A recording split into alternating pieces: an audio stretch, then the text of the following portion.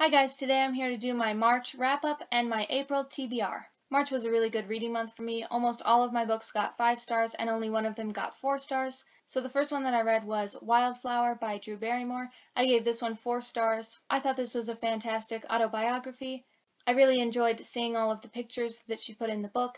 I did check it out on audiobook, but I never got around to listening to it, so I just read it. But if you're a big fan of Drew Barrymore, I think you would really enjoy this. Next, I read Alice's Adventures in Wonderland and Through the Looking Glass. Alice's Adventures in Wonderland was a reread for me, but Through the Looking Glass was actually the first time I had read it. I gave both of these five stars. I just absolutely love this world, and I wish that there was more in it.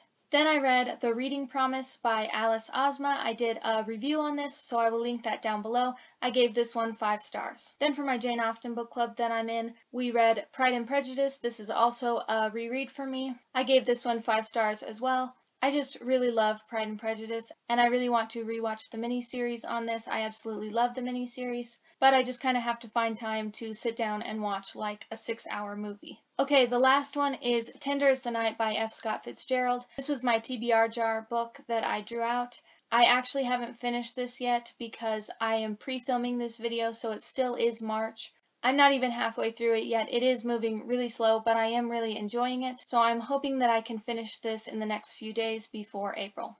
The next few books are for a couple readathons that I'm doing, so I'm going to quickly go through these, and that's Furiously Happy, The Jane Austen Book Club, Lord of the Flies, we are all completely beside ourselves, and Sea of Monsters. I will leave a link to both of the readathon videos down below that I did last week if you're interested to see those. This month's Jane Austen book that we plan on reading in our Jane Austen book club is Sense and Sensibility. I actually started this one last year and didn't get very far in it, so I will be restarting this one. I'm really excited to get to this because I haven't read any other Jane Austen beside Pride and Prejudice, and I absolutely love this movie, and I was really enjoying it when I was reading it last year, but I just didn't get around to finishing it. At my library, I just picked up When Breath Becomes Air. This is going around BookTube right now, and it seemed really interesting to me. I do have it on audiobook, so I plan on listening to it when I'm at work, but I got the physical copy in case I don't have time to listen to it. I'm really excited to get to this, but I'm pretty sure that this is going to be pretty sad.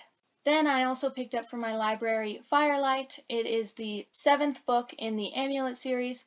I own the first Amulet and I've read all of them, but it's been a couple years and I have been looking forward to this coming out and it finally came out. I fly through these. I really enjoy these graphic novels, even though they are middle grade. I'm hoping I can remember kind of what happened because it has been a few years, but I can't wait to get to this one. Finally, I'm going to do my TBR jar.